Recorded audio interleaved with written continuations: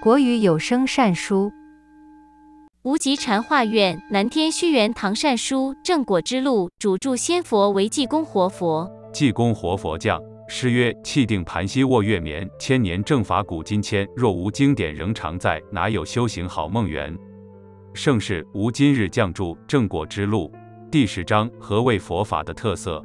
佛陀入灭之后，一般人只能从经典里寻找佛法，但世间的佛教经典繁多，甚至许多后人编纂或是凭空杜撰的，也以“如是我闻”为开头，而混淆黑白，令许多修行者难辨真假。所以，能辨认出哪些教导是真正属于佛陀的教诲，就显得异常重要。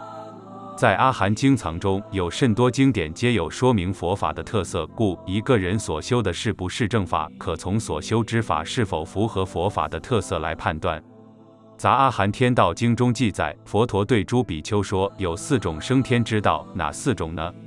一念佛，二念法。什么是念法呢？即如来说正法律、宪法，离诸炽然，不待时节，通达涅盘，极深观察，缘自觉之。三念僧，四念戒。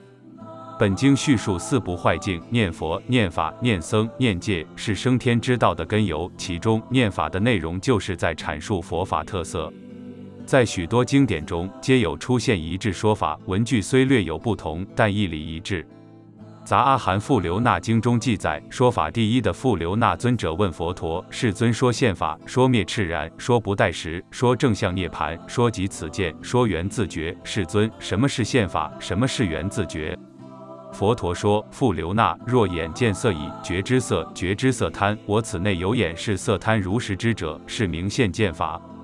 而、鼻、舌、身意亦复如是。”佛陀的意思是说，眼睛看见色尘之后，觉知了色尘，也觉知了对色尘升起的贪爱，以及在六根接触六境时，从升起贪到贪灭除都如实知。这样法是直接可见的，法可以马上灭除，如火烧般逼迫身心的烦恼；法是及时的，法能正确地去向涅槃。法要请你亲自来见，法是智者应该自己体证的。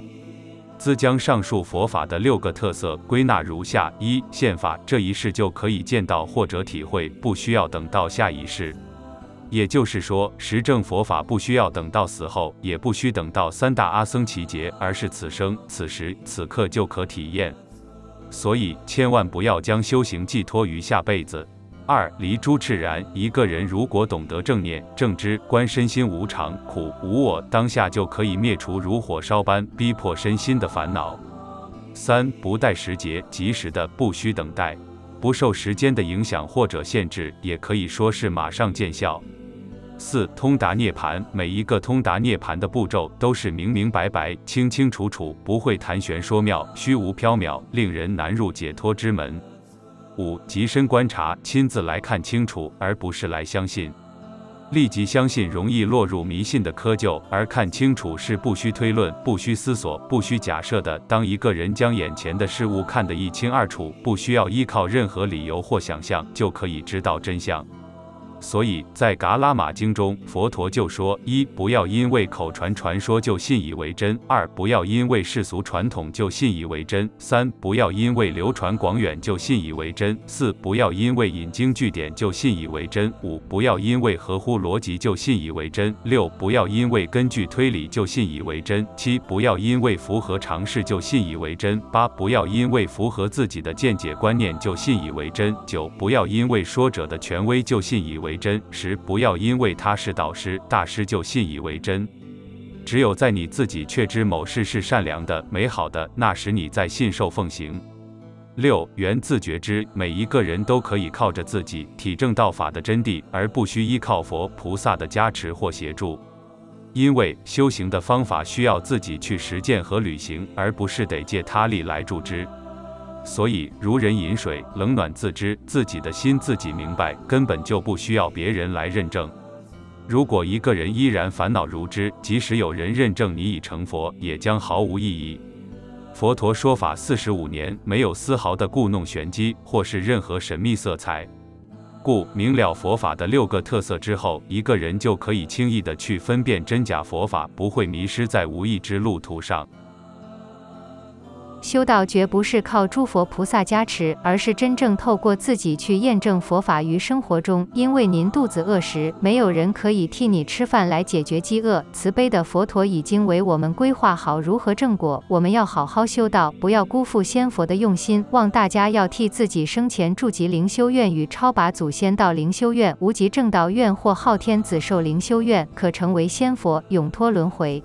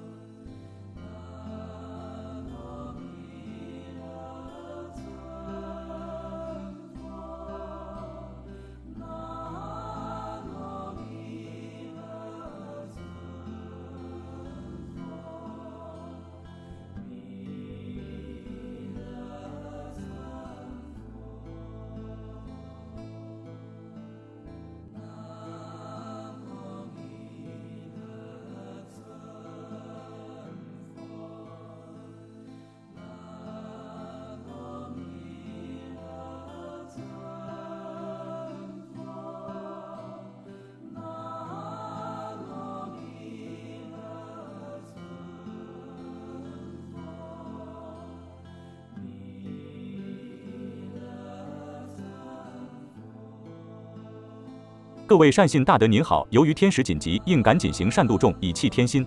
南天虚元堂之庙院已建成，希望大家可财布施护持庙堂之永续，多助印善书，光临虚元堂以受仙佛普照。